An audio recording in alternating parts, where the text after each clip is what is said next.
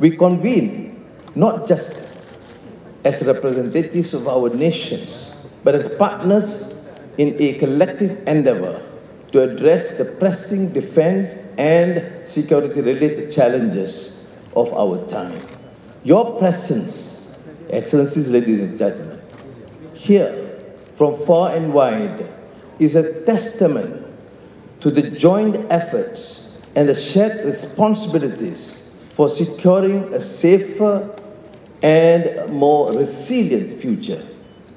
Over the next three days, the proceedings will present unique opportunities for meaningful and reasoned dialogue, knowledge exchange, and the forging of partnership that transcend borders.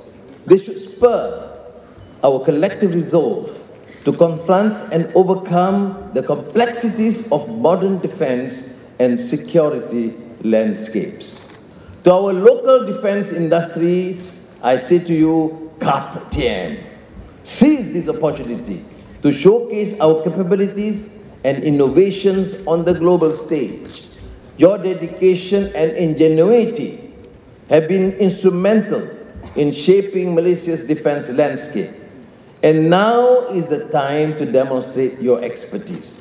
Let your pavilions stand as beacons of excellence, highlighting not just our technological prowess, but also our commitment to collaboration and partnership for peace. I urge all participants to come together to share knowledge, to innovate, to exchange new technologies and ideas, and to forge partnership.